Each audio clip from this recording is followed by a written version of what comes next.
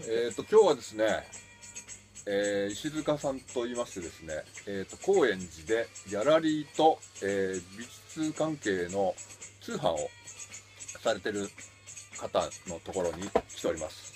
えーちょっと営業話兼ねて来ておりますが、えー、もともとディスプレイ、サインディスプレイのお仕事をされてたりして、えーデザインに関してはいろいろお詳しい方なので、ちょっと今日はその石塚さんとの会話を録画しております。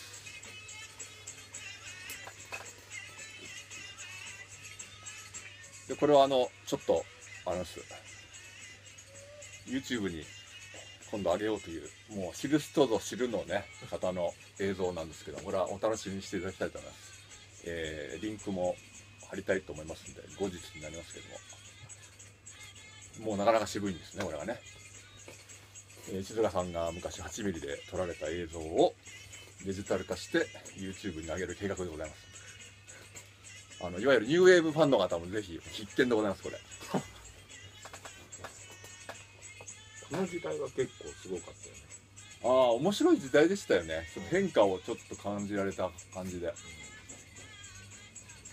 あの、美術も音楽もすごく、デザインもそうでしたけど、面白いもんがバーって出てきた時でしたよね。80年前後ってそうだねのは。え新宿三丁目がえ非常にあ面白かった時代あ、なるほどね。そう、都庁がね、移転する前はね、良かったんですよ、あの辺。うんね、俺90年過ぎてからもうちょっと、きれい、うん、美化運動が。出回っちゃって そうそうでもあそこら辺って結構ギャラリー多いよねそう。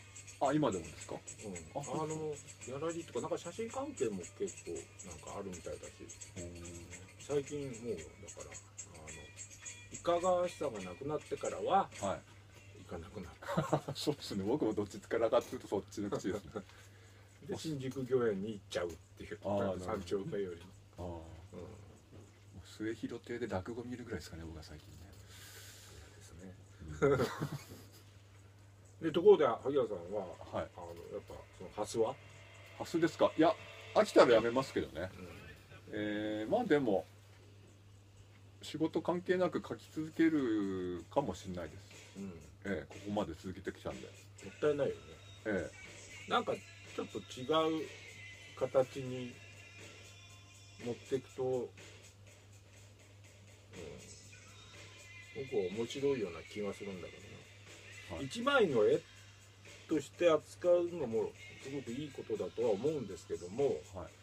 えー、とそれを描いた絵を素材としてはい。使って何かできないんだろうかっていうのはあの僕自身がやってる作業とも関係してくるんですけど、はい。あの、うんよく考えますねその方法をえ、インスタレーション的なことってことですか？もうありますねあとはそのなんだろういろんなものを例えば写真を撮ってでその中に撮った時の状況の中からちょっとずつ何かをチョイスしといてはい。でそれを例えば5年ぐらい経ってからあはい。の、まあ、僕がやってる作業だとねはいあの。こう本型っていうかボックス型はい。のこう本の中にはいそれをギュッと押し込めてしまうああ、なるほどね。でそのギュッと押し込めたものっていうのは基本的に、えー、と僕の場合はアナログでやるんだけどもあじゃあ扱ってるものは基本的にデジタルなんですよね。はい。でデジタルの仕事をしてるんだけど最後の最後は全部アナログにしてそこに押し込んでしまう。ああ、それ物としてそう、作り上げる。うん、戻しちゃうああ、なる一番元に戻しちゃほど。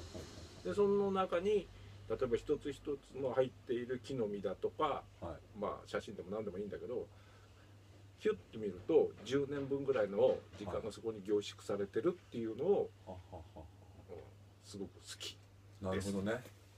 そっか。自分がやってる生き様がそこに残るわけですね。そうそうああそれが楽しいってやってるのがこういうやつです、えー、あ、これなんか、あの、展覧会の時、うん、この前の高円寺でやってましたよね。こんな感じでございます。もっと近づいた方がいいかな。おこれ静香さんの作品とですね。そうです。はい。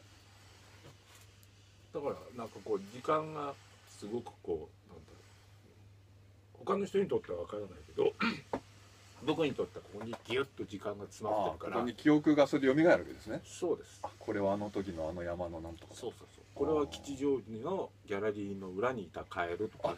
吉祥寺なんだ。へえすげえなれは高尾の山にいた蝶々とかねはいはいはいはいねこんな感じじゃないですけどそういうのがなんかこうやってるとはいはいはいあの最近ちょっとなんだお習字っていうか、はい書道家の人と付き合っていてはいはいで書道家の人の書いたものを僕の方に送ってもらって、はいえーそれに対して僕が、えーなんか違うものをテストを加えていくっていう作業をちょっと始めたんですよ。デジタル上でコラボレーションってことそうです、かネット上っていうかね。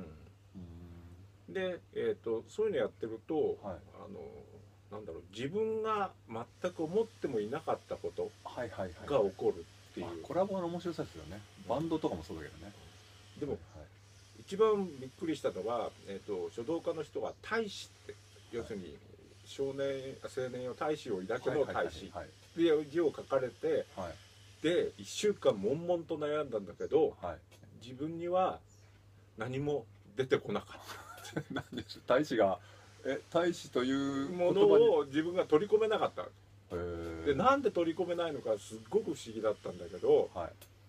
要するに自分の経験の中に大使というものがなかったんだよ。あー要するに自分が大使を抱いたこともないし、えー周りに今まで会った人の中でその大使っていうのを持ってた人と出会ったことがない。